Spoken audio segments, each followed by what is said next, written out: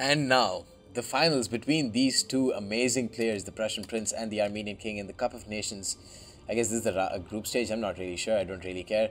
I just want to see these two players battle it out. Uh, the first two games were definitely very, very interesting. Basically, the most interesting aspect of that was how Prussian Prince adapted to his loss in game one. while the uh, the Armenian king stuck to his same, same strategy in game two and lost. So now the onus is on the Armenian king to change his tactics and switch up his strategy. Let's see if he has. Now he, I believe, uh, you know, this is definitely Armenian king picking this map because it is Armavir, uh, but it's not the it's not the unbalanced. Oh yeah, so then it's the Prussian prince who's picked this map. Yeah, Prussian prince has picked this map because you can see there is a there is a downhill slope right here it's not very prevalent, but it's definitely noticeable. So if the Armenian king posts up right here, he will definitely be suffering from, uh, you know, some downhill charges.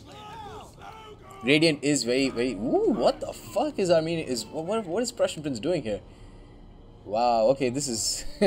it's going to be this is very risky very very risky this is the deciding game between these two people as well so Armenian King he has removed the three Britain slingers which he had before and I can see there are two reasons uh, because of that one because uh, in game two his Britain slingers didn't perform at all and uh, now that there's Armavir and there are woods here why would he ever bring slingers? He's instead brought more uh, Levy Freemen. So the recipe for uh, you know turning back a game is just bring more Levy Freemen. As simple as that. Besides that he's brought six uh, chosen swordband and two heroic nobles. Meanwhile, um, the Prussian prince has brought a total of five Lusitani nobles and three veteran shield warriors, again giving uh, the Lusitani a huge upper hand in um, in the melee infantry front. The Levy Freemen have to be used very well in if um, Armenian King wants to win this, because he has he has brought also one extra veteran rider I believe one, two, three, four, five, six. There we go, six veteran riders. So he saw that he had such a severe cavalry disadvantage in the second game. He's brought one more, and now he's brought a lot of great support for those veteran riders in the uh, Levy Freemen. But it just depends on how well he uses them.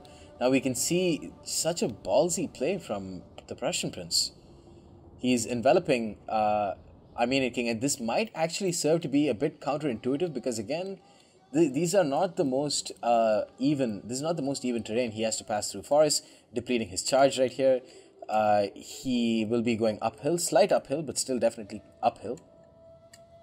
So, while uh, surrounding an opponent, no matter how good the quality of the opponent is, definitely poses some psychological threat uh, because he he has to protect his rear at all times, making him less aggressive. And you'd always want to go aggressive with uh, a barbarian army don't want to stay defensive with a barbarian army.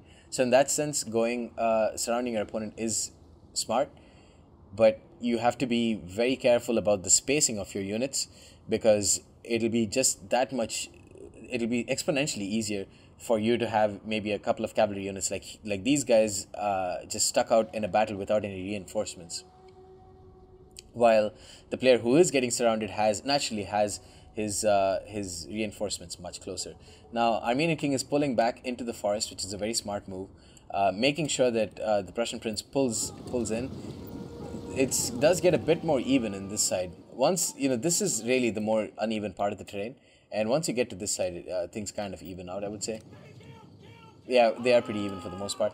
Now, Levy Freemen charging in. Now, the veteran shield warriors have wasted one of their uh, javelin volleys. Ooh, rear charge onto Lusitani nobles. Won't do a lot of damage uh, but will stop them. And he should pull back with them. Uh, and while uh, while the Prussian prince is busy over here, uh, veteran riders just got free reign, got a rear charge onto Lusitani Nobles. Going to rear charge this veteran shield warrior. The Scutari cavalry are not going to be quick enough, and that means one Scutari uh, one veteran shield warrior is dead. Although the veteran riders, on the other hand, are basically stuck between a rock and a hard place. That means he loses that cavalry advantage in numbers that he had earlier. Veteran riders again, this is not quick enough. He needs to be much quick, uh, much quicker.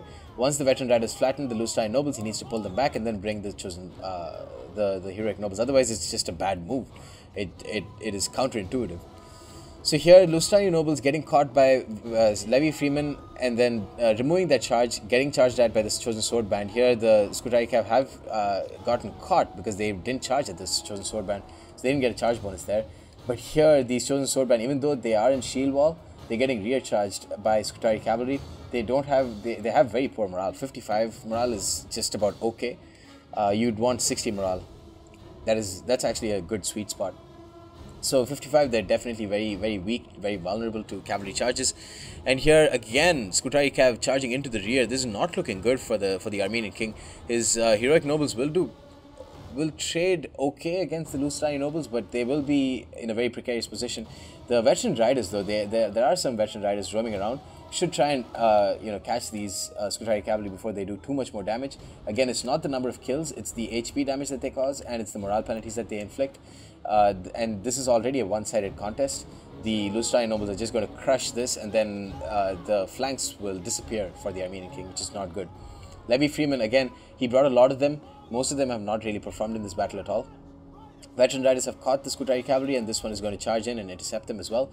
Although, uh, you know, at this point, it's not looking good at all for the Armenian king. The Ch- chosen sword band here are at full strength. This heroic noble is, is doing pretty well against this veteran shield warrior. I think the veteran shield warriors love punching above their weight because they'll get a lot of kills. They will die regardless of the unit, but they will get a lot of kills if they're due to their sheer aggressiveness. So I guess it's a good idea to just put them up against uh, you know elite tier infantry. So here, veteran shield warriors wavering and dying to chosen swordband, and uh, Scutari cavalry rear charging chosen swordband here again that inflicting those very crucial morale penalties and uh, veteran riders just charged into the rear of the Lusitani nobles. The general is already down to 57 men. Meanwhile, the, the heroic nobles general, which are who are definitely much more tanky than the Lusitani nobles, are doing much better. So, but the, the, the Armenian king's left flank has crumbled. He has a full strength levy, uh, half strength levy freemen that's not doing anything here, which is kind of bad. And uh, here, here, the Lusitani nobles are wavering. Lusitani nobles are wavering across the field, it seems like, because this Lusitani noble general is not doing very well. He's got one full strength Lusitani noble, though. That's not good.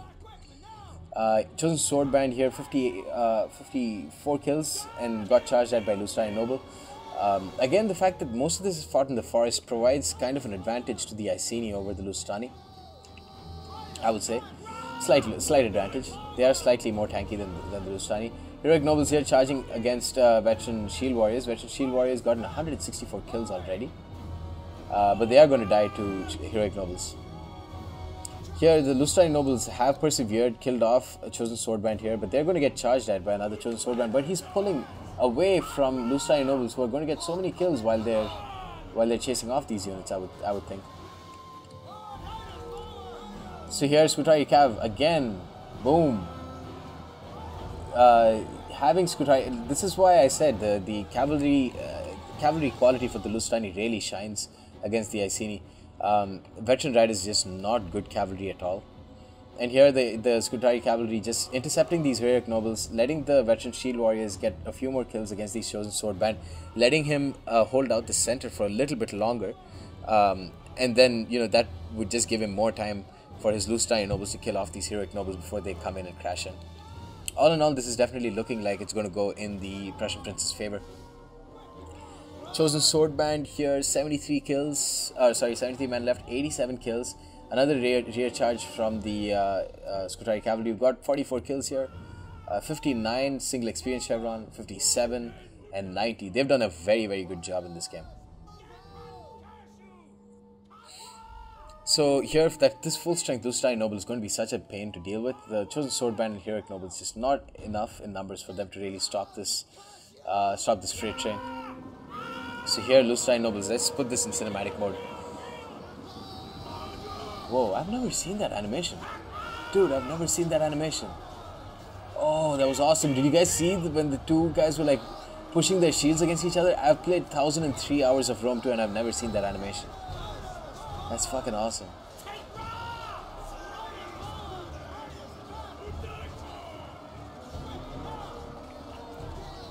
Yeah, but um, Lusitani nobles, they are dying because shield wall again gives them that uh, bonus, but then rear charge from the Scutari cavalry. See, that is the one thing that Prussian Prince has not capitalized on in this entire set of three matches. He hasn't pulled out his infantry when shield wall was activated. Granted, it, it is a risky move against a player that is as good in micro as the Armenian King, but I think it's a risk that can be justified if you can get a second charge in. Now, the heroic noble general, who's done very well too, about to get a single silver, uh, but he's getting rear charge here. He's done very, very well, the heroic nobles, against Lusitani nobles. And costly victory to the uh, to the Prussian prince, and that means he wins uh, the set of three games against the Armenian king. Very well fought by both players, and it was an absolute pleasure to watch and commentate over these three games. Hope you guys enjoyed the the set of three games. I definitely know I enjoyed it, and uh, stay tuned for more. Peace.